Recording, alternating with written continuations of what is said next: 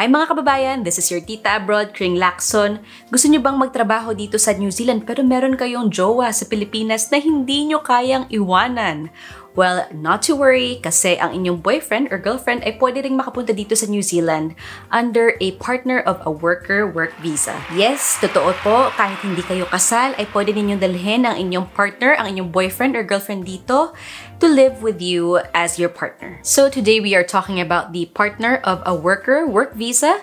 This visa allows you to work in New Zealand while your partner is here on a work visa. So kung kayo po ang naiwanan na jowa, eh pwede kayong dumating dito sa New Zealand under a work visa at sundan ninyo ang inyong boyfriend or girlfriend. In this video, I'll be talking about the details on the eligibility requirements, the application process, the common mistakes to avoid, and the benefits of having this partner visa. I have applied for this visa two times when I sponsored my partner, Frank, to live with me in New Zealand. So I do have experience about like the process of this visa. First, let's talk about the eligibility requirements. Sino po ba ang pwedeng mag-apply under the partner of a worker work visa? First, we have to define the meaning of partner.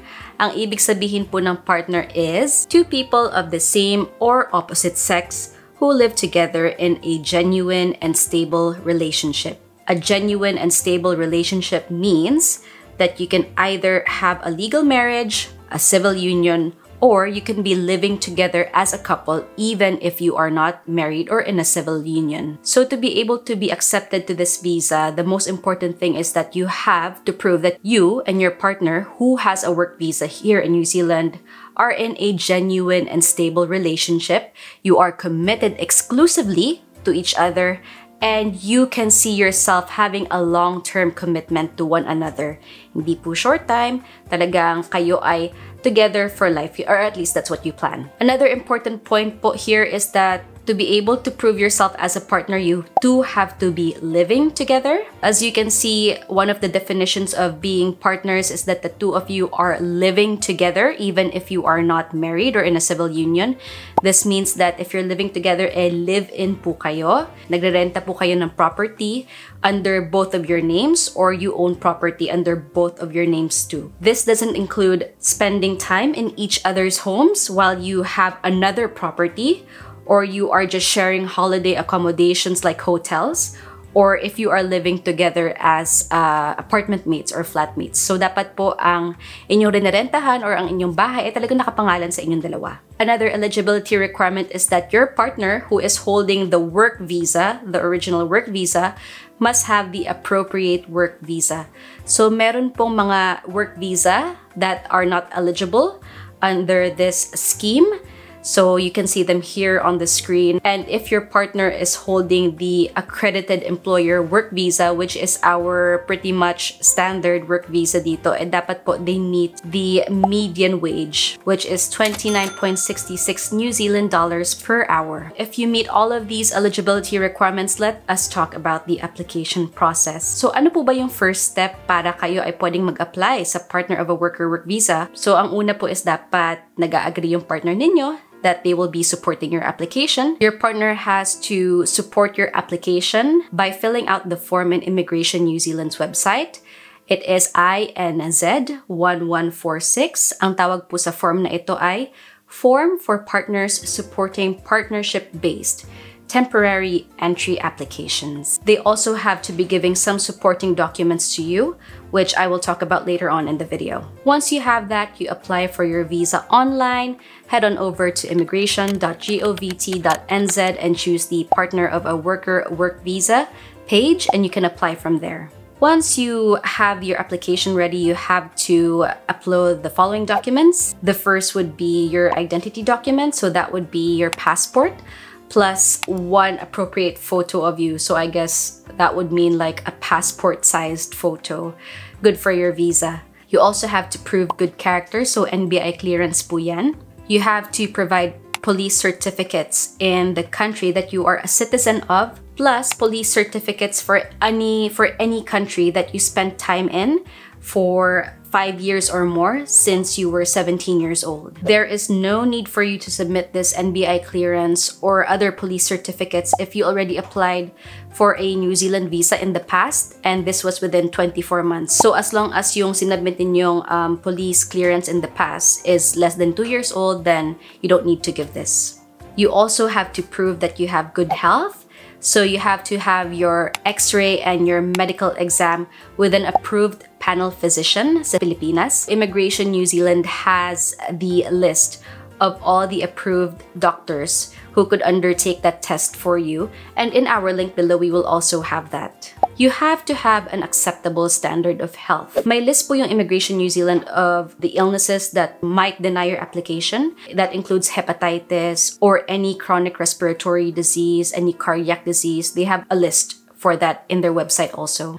You might have to prove that you have enough funds while you are living in New Zealand. You won't need to provide this on your initial application. It's only when Immigration New Zealand comes back to you and says, hey, we need this. That's the only time you need to provide this. But if they do ask for it, you need to provide your bank statements, your credit card statements, traveler checks, and your partner could also provide the form INZ 1025. Tawag dyan ay ang sponsor form for temporary entry. Another thing that you might note might need to provide is also proof of your onward travel or kumbaga yung proof na aalis kayo ng New Zealand after a certain period of time. So again, this is not required of you immediately. It's only when Immigration New Zealand comes back to you and says, hey, we need this. And in this case, you just need to provide a return ticket or proof that you have arranged to leave at the end of your stay. Your partner will also need to provide a few documents to support your application. The first would be the completed INZ 1146 form that we talked about earlier. That is the form for partners supporting partnership-based temporary entry applications. Ano po ba ang laman ng form na ito? So it's quite simple. Ang laman po niya ay yung details ninyong dalawa. So your name, your date of birth, your address, your nationality, ganon, etc. And then any culturally arranged marriage requirements. And your partner also has to prove that they are eligible to support you. Ang ibig po sabihin nito is dapat hindi sila nag-sponsor ng any other partner in the past. So, if for the past five years, eh, meron silang ni, ni sponsor na ibang girlfriend or boyfriend na sumama sa kanila sa New Zealand, then hindi po sila eligible. So they should not have sponsored anyone to have the partner visa in the past five years po. Kasi medyo weird nga naman kung nag-apply sila for another for a different partner tapos biglang mag-apply sila for yet another partner. So medyo magulo siya. And apart from that, yung declarations po that what they wrote in the form is true and correct. Your partner also has to provide proof of their good character. So yan po ay ang kanilang NBI clearance kung sila ay Pilipino rin plus the police certificates of any country that they lived in for 12 months or more in the past 10 years. Hindi po pwedeng may domestic violence or sexual offenses ang partner ninyo. If they do have it, then uh, they will not be eligible to sponsor you. If your partner has the accredited employer work visa, which chances are they will, they will also have to meet the median wage requirements, which is 29.66 New Zealand dollars per hour. That is a pretty okay rate. If you ask me, you, you can be confident that they will be able to pass that. Now, the tricky part of the documentations is the proof that the two of you, you and your partner, are in a genuine and stable relationship. The evidence that you give Immigration New Zealand has to show how long you have been together, how long have you been living in together, if you spend time together, if you share your finances and other responsibilities, and if other people recognize your relationship, hindi po pwedeng secret, hindi pwedeng kabit, dapat it's also official. So you can prove this through a number of ways. First, you have to show or you have to submit also your official documents. So official documents include, if you are married or in a civil union, the document or certificate of your marriage or your civil union. If you have children, also submit the birth certificate of the children that you share You also have to give your joint tenancy agreement. So if you're um, living in, in an apartment that you rent, it has to be under both of your names. Or if you have a home loan, you could put that as well. You could submit your joint bank accounts and your joint credit cards. Also submit your joint utility accounts. So any bills phone bills, gas bills, power bills that are under both of your names. Those are the official documents, but you will also have to, very important, submit some other documents to prove your genuine and stable relationship.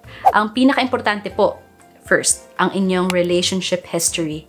You have to have a written account of your relationship history from when you started dating each other, any milestones in your relationships, any trips you took together, anything, basta lahat po ng inyong maisip, ilagay po ninyo sa inyong relationship timeline so that um, you could show the chronology of your relationship. It's also good to have some photos of you two together, collect them in a Word document or a PDF, and just upload them all to that document. You could also have some mail addressed to you and your partner on the same address. So let's say meron kayong um, letter from someone or letter from, let's say, uh, for a phone bill that's under your name only, you could also send that through as long as your partner ninyo also has some correspondence of uh, their own under the same address as well. It would be good to also show proof that you travel together or your dates together. So like if you went overseas, then you could show your airline tickets together, the proof that you paid for it, the Airbnbs or the hotels that you stayed in. And you could also collect some letters from your friends and family saying that, hey, I confirm that this person and this person are in a relationship together. Kitang-kita ko po, talagang official na silang dalawa mukhang magtatagal sila. It also is good to uh, have those letters from others confirming that the two of you are in a relationship. So in my experience po, no, my partner Frank applied for this visa two times. So I sponsored him. He was the holder of the partner of a worker work visa. So to be able to prove that we were partners, we had to show a few things. So first of all, being our uh, joint tenancy agreements. At our very first application, we've only been living together for about five months. So that was good enough for Immigration New Zealand as long as I think you two have been living together together for three months or more and you have proof of that, then I think that's a good enough uh, time. We also showed some of our photos together, our relationship timeline, um, receipts of our travels together and the hotels or Airbnbs we stayed in. We also shared our joint utility bills and joint letters from the government. Of course, we've put together our relationship timeline when we met, when we started dating, when we became official, with pictures alongside to prove it. There was also a period in time during our second application that we lived separately for three months kasi nasa France po siya at ako ay naiwan dito sa New Zealand. So in that second application, we just had a letter to say that, hey, we lived separately for three months kasi ganito po yung sitwasyon namin. But we continued to communicate with each other during the time that we were separated physically. So it's also good to have that chat conversations that you and your partner have. So if kayo po ay nagme-message sa Messenger or sa iMessage or emails, then you could also um, send that as proof of your partnership. Also good to note that if you and your partner have been living apart for quite a while, then you have to have a letter to Immigration New Zealand stating why you were living separately for a time, what were the circumstances behind that, and how the two of you kept in touch. So those are all the documents that you are required to submit. They may seem daunting, but don't worry as long as you're very clear about the requirements of Immigration New Zealand, then you will be safe for the most part. You will have to pay 700 New Zealand dollars when you submit your application. That is equivalent to about 24,500 Philippine pesos. And the processing of your visa takes about 29 to 67 working days. What are my tips to ensuring that you have a successful application and you can join your partner here in New Zealand? First, you have to ensure that your documents are complete. Medyo common sense po ito, but it is the primary reason for why a lot of visa applications get rejected. A lot of them have incomplete documentation. So to be able to submit complete documents, you just have to be sure and you have to understand what each item is required from you. And from there, just identify and gather all of the documents that will fulfill these requirements. Very important, you will have to ensure consistency in your documents. Please double check all of the information you provide, especially in your relationship history. Any inconsistencies po will be spotted 100% sure by Immigration New Zealand. You have to double check and you and your partner must be able to corroborate. You must be able to um, agree to each other's statements. Again, have an accurate chronology of your relationship timeline and make sure po that the evidence you provide is in accordance to this relationship timeline that you provide. I cannot stress enough that you also have to provide ample evidence of the two of you living together. You really have to demonstrate that you have a credible, stable, genuine relationship with each other and that the two of you are together for life you really have to prove that you have been living together. That is one of the key foundations to be accepted to this visa. Another common mistake is that people don't provide enough evidence of them communicating with their partner. So please, when you can, please provide all of the evidence that the two of you talk online or in person.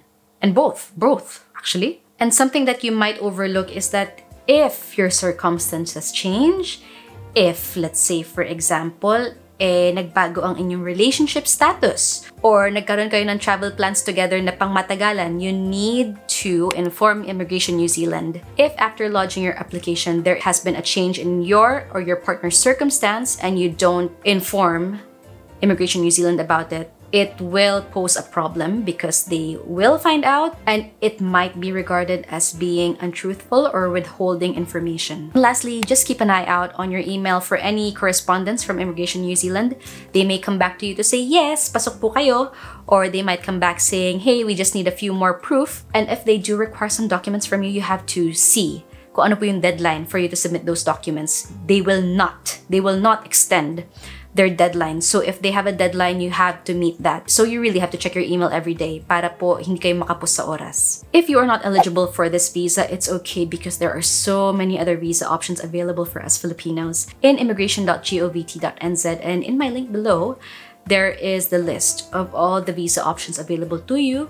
So don't lose hope po. Marami pong chances of winning. That is it for this video. If you have any comments or if there's inaccurate information here at all, please let me know in the comment section. I would love to hear from all of you. Kung may tanong po kayo, please let me know. Like, subscribe, and share. Uh, ano pa ba?